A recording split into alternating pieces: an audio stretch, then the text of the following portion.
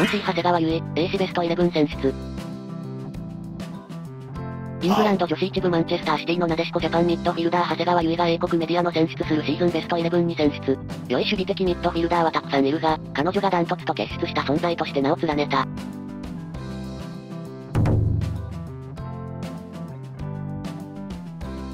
彼女は難しく、タイトなスペースでボールを持つ時間がより長く、常に他の選手よりも見て、3手先のパスが見えているようだ。シティに欠かせない非常に聡明なフットボーラー。このリーグには良い守備的ミッドフィルダーがたくさんいるが、彼女がダントツであることを証明した。ジアスレチックが選ぶシーズンベスト11に長谷川優衣さんが選ばれてますね。実際世界的に見てもダントツですよ。知らなかったけどすごいな長谷川はほんと素晴らしい。マンシーの中心選手となったね。チーム内でやたら愛されてるのも頷ける。マンシースタメンでベスト11ってやべえな。すげえじゃん男子サッカー選手よりすごい。大谷もすごいが長谷川さんもすごいんだぞ。長谷川選手に関してはベスト11は嬉しいけど、もう驚きではないです。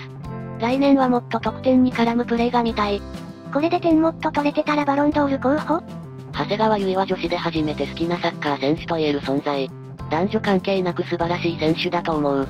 彼女のプレーは一人一室で女子なのに一昔前の時代とか今ならでブルイネを彷彿とさせる万能選手。高倉監督時代に代表デビューした時はヒョロヒョロでガリガリの少女みたいで彼女が将来、代表なでしこを背負って立つ逸材とは到底思えなかった。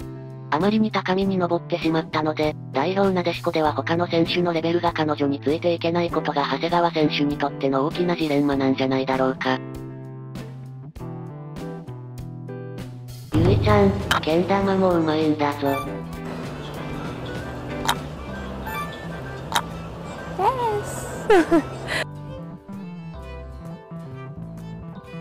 Oh, yes.